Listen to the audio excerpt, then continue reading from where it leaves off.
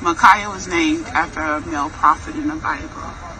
She was a very loving, peaceful little girl. She was 16 years old. She was an honor roll student. And um, Ma'Khia had a motherly nature about her. She promoted peace. And that's something that I want to always be remembered.